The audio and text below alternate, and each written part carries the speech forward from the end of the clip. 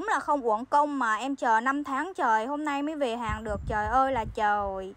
Phục, Nichon Đông Nam Á đẹp tuyệt vời luôn nha mọi người. Cái này là Nichon Đông Nam Á, Không phải Nichon mà cái hộp mà trắng trắng, xanh xanh thì đâu, Em không có bán cái dòng đó nha.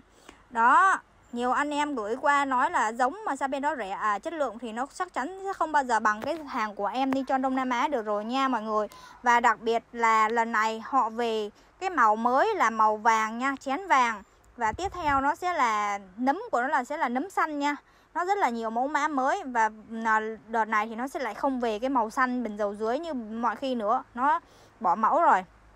Có thể đợt sau hoặc là không làm nữa thì nó sẽ cải tiến thêm những cái mẫu mới đẹp hơn đó, thì nó sẽ ok hơn đúng không?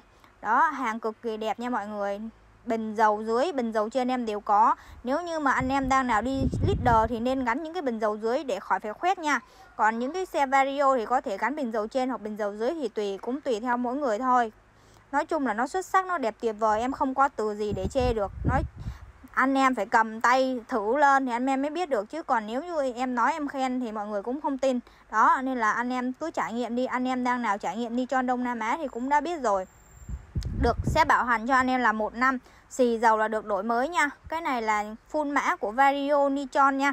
Đó cái này là hàng cực kỳ đẹp. Xì dầu là được đổi mới. Đó trong một năm nha mọi người. Mẫu nào như có những cái mẫu mới về á, thì anh em có thể cập nhật thêm. Nhá còn mai mốt gì đó mình sẽ cập nhật thêm những cái dòng xe Vario hay là AB, Wayzim gì đó sau nha mọi người. Trước mốt là sẽ là Vario trước. Anh em nào thích là nhất liền cho em chứ đừng để 5 tháng trời 6 tháng trời mới có lại là rất là lâu nha. Mà thời điểm lúc đó thì người ta sẽ bán giá trên trời thôi. Đó. Chốt nhanh đi nha, cực kỳ đẹp. Em nói nó đẹp lắm mọi người ơi.